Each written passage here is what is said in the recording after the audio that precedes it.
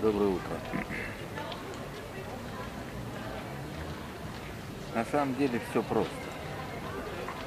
Любой бизнес, любая продажа предполагает, что успех зависит от количества. Количество покупателей, количество клиентов, количество дистрибьюторов. Чем больше людей пользуются твоим товаром или услугой, тем ты успешнее. Все ясно. Поэтому все, кто на блоге на моем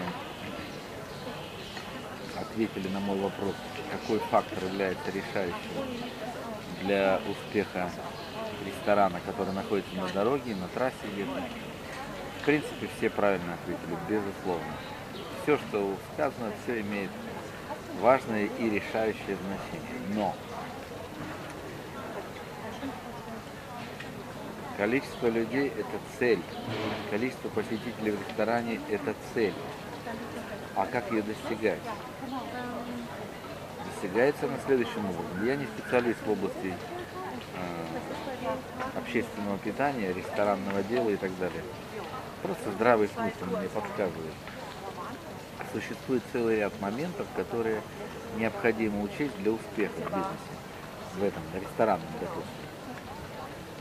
И многие указали совершенно верные вещи, правильно.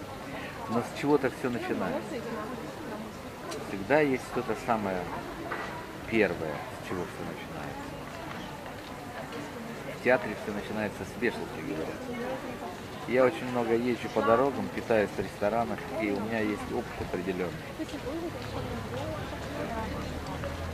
Все начинается для человека, который ездит на автомобиле, и хочет поесть в придорожном ресторане, начинается со стоянки.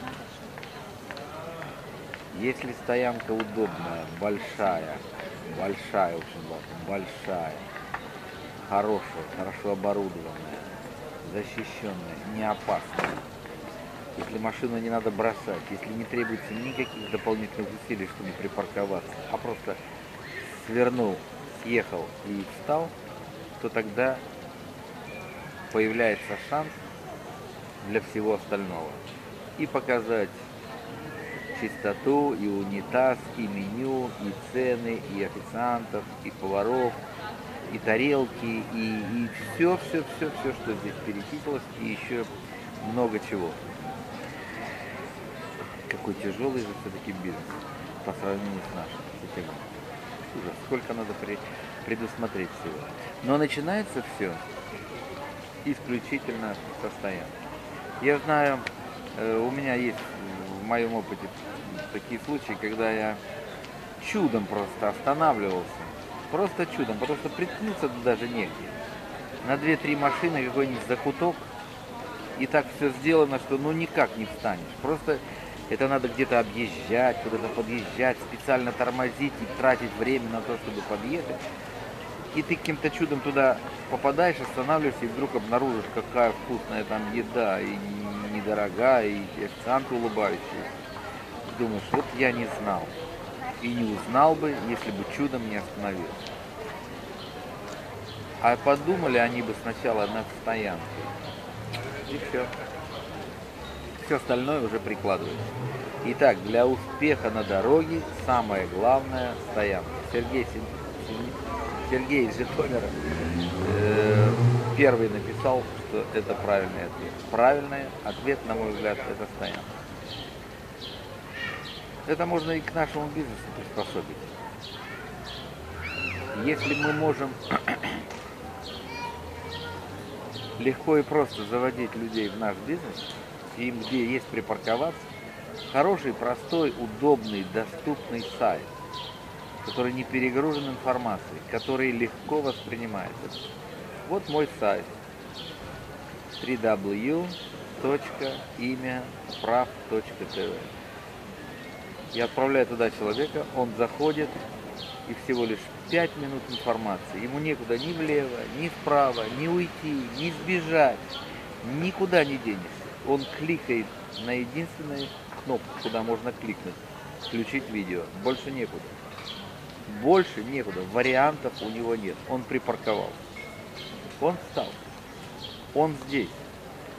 И если с первых секунд, с первых минут картинка, человек и слова, которые он допускает, ему интересны, то есть шанс, что он дослушает до конца. И дальше уже все начнется. Все начнется. И вот там уже определяется, будет поток или нет. Будет успешен бизнес или нет. Но для начала ему надо припарковаться.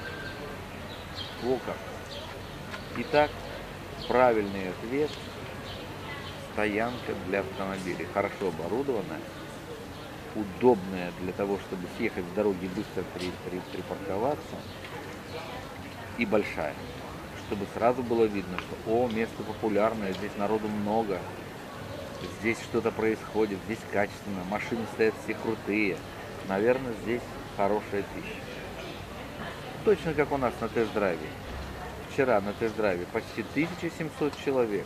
Просто так вечером собралось 1700 человек и о чем-то там говорят. Первый человек, который, туда пер- человек, который попал туда в первый раз, неизбежно задумается, вот это да, вот это стоянка, тут что-то происходит.